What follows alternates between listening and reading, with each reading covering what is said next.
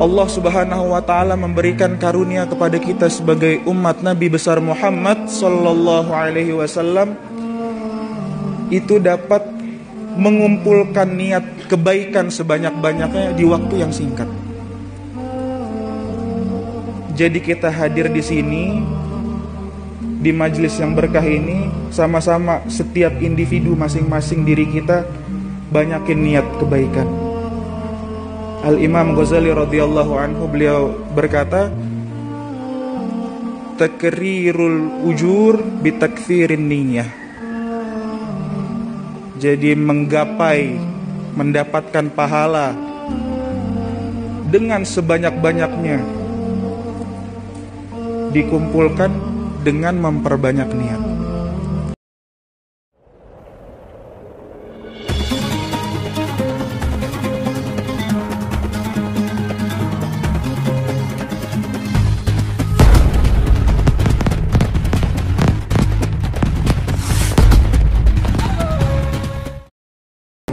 Bisa untuk menuntut ilmu, bisa untuk bertemu dengan orang soleh, bisa untuk menyambung tali silaturahim, bisa untuk menuntut ilmu, bersilaturahim, bertemu dengan orang soleh, belajar bersama, birrul walidain, niat kita hadir di sini.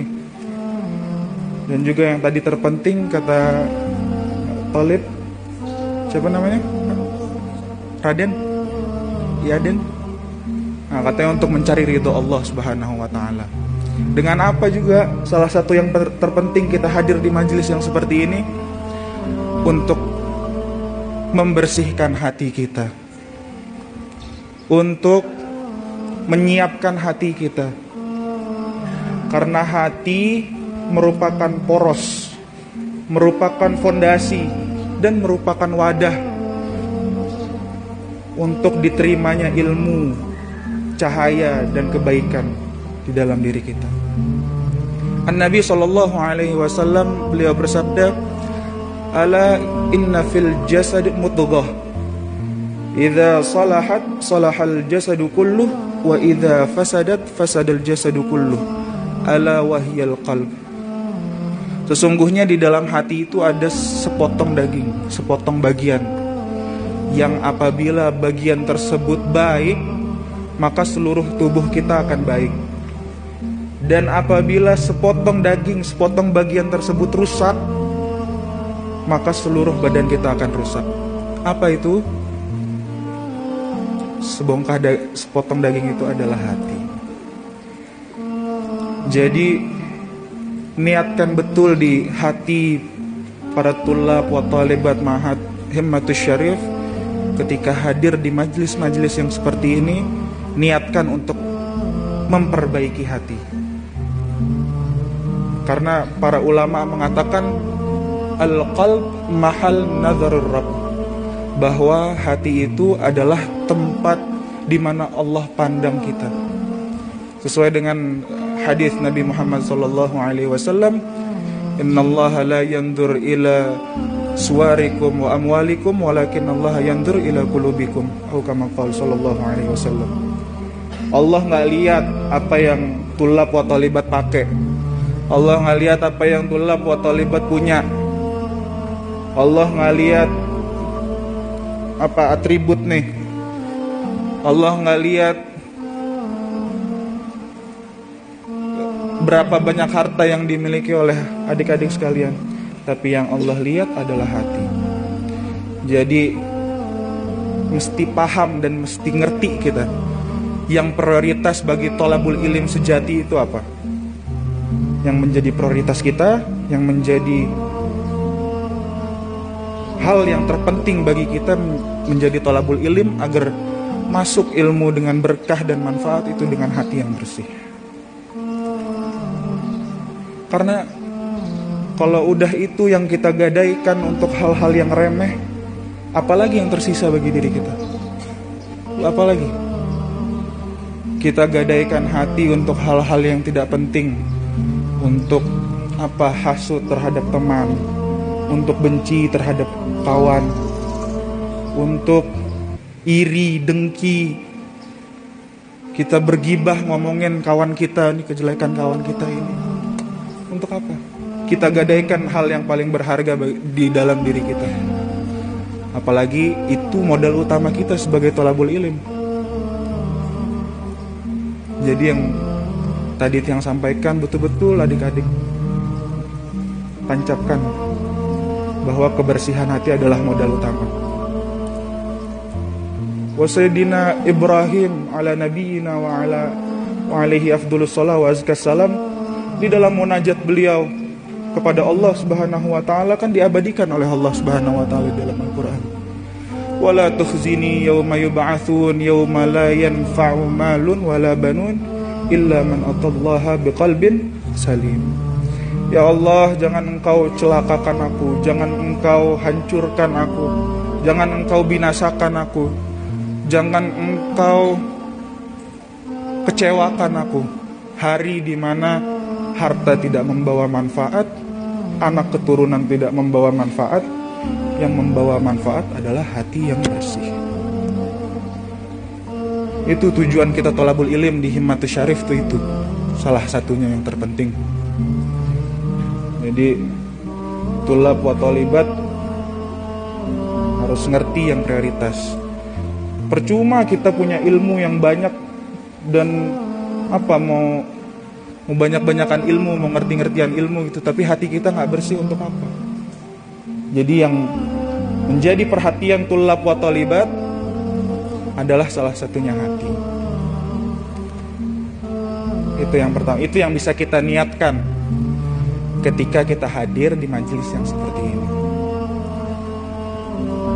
Yang kedua yang tadi disebutkan juga sama Talib Salah satu niat kita untuk mencari ridho Allah Subhanahu wa taala di majelis yang seperti ini. Untuk mendapatkan kasih sayang Allah Subhanahu wa taala. Ambil ambil gak kabar gembira bahwa kita di sini itu adalah salah satu jalan untuk untuk meraih keridhaan Allah Subhanahu wa taala. Di dalam suratul di dalam surah Maryam di akhir kan Allah Subhanahu wa taala sebutkan Ladzina amanu wa 'amilus solihati sayaj'alu lahumur rahmanu wudda Sungguh orang yang beriman dan beramal soleh Allah Subhanahu wa taala akan Allah Subhanahu wa taala yang pengasih akan menanamkan, memberikan kasih sayangnya di dalam hati hati mereka. Jadi kegiatan kita di sini di dalam rangka kita untuk menjadi hamba-hamba Allah yang beriman dan beramal soleh, Allah akan kasih tuh di dalam hati tulap wa talibat rasa mahabbah, rasa kasih sayang. Apa makna Buddha di sini? Innal ladzina amanu wa 'amilus solihati sayaj'alu lahumur rahmanu wudda. Wudda di sini bimakna fi hadhil ayah ar-rahmah al-khassah. Apa maknanya? Kasih sayangnya bukan kasih sayang sembarangan yang Allah taala tawarkan untuk orang-orang yang beriman dan beramal soleh. Allah tawarkan kasih sayang al-khassah yang khusus kalau misalkan rahmat Allah kita artikan sebagai apa pemberian Allah Subhanahu wa taala memberikan kepada semua hamba-hambanya yang beriman, yang nggak beriman, yang memusuhi Allah bahkan dikasih oleh Allah pemberian. Mata dikasih, telinga dikasih, harta dikasih, jabatan dikasih, apalagi semua isi dunia dikasih juga. Kalau kita lihat apa di dalam Al-Quran kisah Fir'aun kan? Semua isi dunia dikasih tapi di sini makna rahmah kasih sayang itu bukan makna rahmah yang umum. Bukan untuk semua. Akan tetapi makna rahmah khasah. Kasih sayang yang khusus. Dalam bentuk apa? Dalam bentuk diberikan kepada orang-orang. Hadiah ini diberikan kepada orang-orang yang menjaga koridornya di dalam ketakwaan kepada Allah Subhanahu wa taala. Jadi barang siapa yang beriman, beramal soleh, menuntut ilmu seperti itulah libat mahat himmatu syarif sekarang ini itu Allah kasih kasih sayang yang khusus yang gak dikasih selain kepada kategori yang disebutkan oleh Allah di ayat ini jadi tenang adik-adik. Kalau kita disayang sama orang tua kita seneng nggak? Kita disayang oleh guru-guru kita nih di depan. Seneng nggak? Dikasih perhatian oleh mereka di diperhatiin bagaimana keadaannya di pondok pesantren bagaimana pelajarannya. Seneng nggak? Atau antar satu sama lain tulap atau libat bersahabat nih. Entah itu sekelas atau seasrama.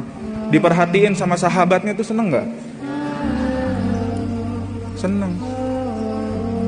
Kita sakit kita lagi apa lagi galau. Sahabat kita nanya gimana kabarnya? Lagi sakit sehat? Itu seneng kita. Nah kesemuanya itu Allah Subhanahu wa taala akan memberikan yang lebih lagi jadi adik-adik tenang semuanya dalam riayah dan inayah Allah Subhanahu wa taala kalau kita melakukan amal soleh dan menuntut ilmu. Sedikit tiang sampaikan, nah ada cerita. Dulu waktu berpuluh-puluh tahun yang lalu, kakek tiang dari Jakarta datang. Sebetulnya per sebetulnya hubungan antar murid dan guru ini sudah terjalin dari buyut tiang antara Kiai Haji Abdullah Syafi'i dan Nini Ida Tuan Guru Kiai Haji Muhammad Zainuddin Abdul Majid terus berhubungan dalam mahabbah dalam ta'zim bersahabat antar dua ulama ini saling menghormati saling tukar sanat.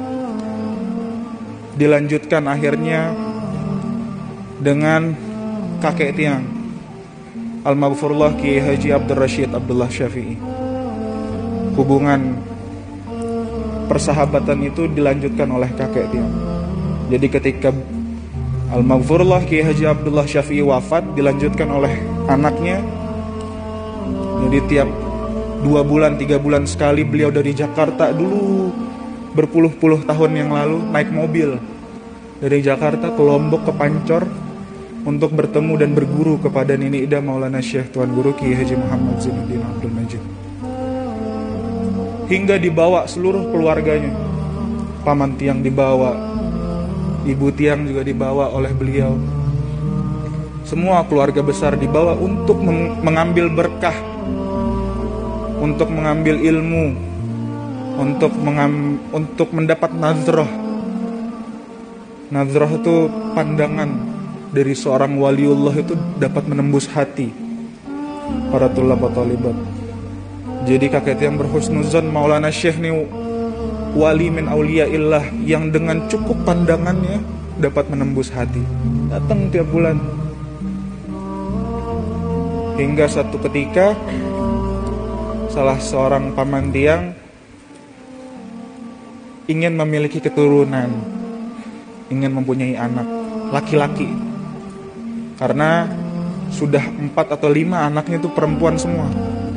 Ya datang ketika itu diajak ke Pancor ketemu Nini dan Maulana Syekh Tuan Guru Ki Haji Muhammad Zainuddin Abdul Majid minta untuk didoakan agar memiliki keturunan laki-laki. Maka Maulana Syekh Tuan Guru Ki Haji Muhammad Zainuddin Abdul Majid itu beliau mengambil sepotong kain yang yang besar kain putih diambil oleh beliau ditulis dengan tangan beliau sendiri. Apa yang ditulis di kain tersebut? Maulana Syekh Nini Datuan Guru Kiai Haji Muhammad Zainuddin Abdul Majid menulis hadis Nabi kita yang mulia Nabi besar Muhammad Sallallahu Alaihi Wasallam. Apa hadisnya? Ini nyambung dengan yang tadi Tiang sampaikan. Hadisnya apa? al-hubbu fillah wal bughdhu fillah min awthaqi urul iman.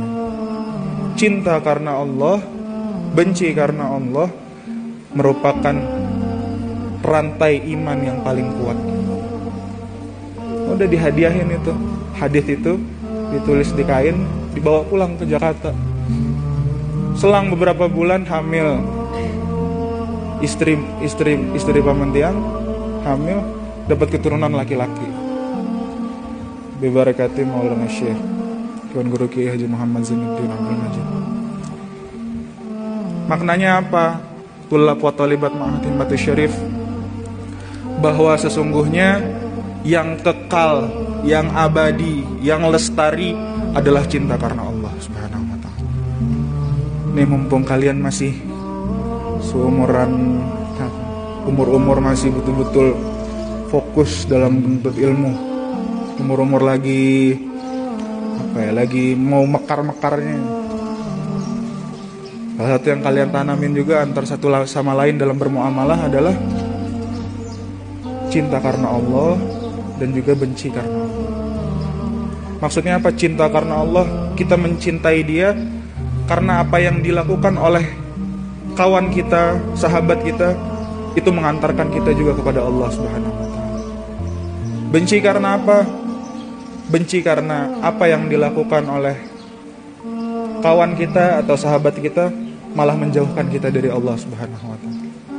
Jadi dengan mindset dengan state of mind, dengan pola pikir yang seperti ini, maka insya Allah kita akan didekatkan oleh orang-orang yang baik. Para tulab wa talibat Mahat Himmatus Syarif Udah banyak yang dari tadi tiang sampaikan Tiang mau tes Tes dulu nih Tadi tulab udah duluan, sekarang talibat Coba ada nggak yang bisa sebutin yang dari tadi yang sampaikan apa? Yang bisa angkat tangan. Yang bisa dapat hadiah.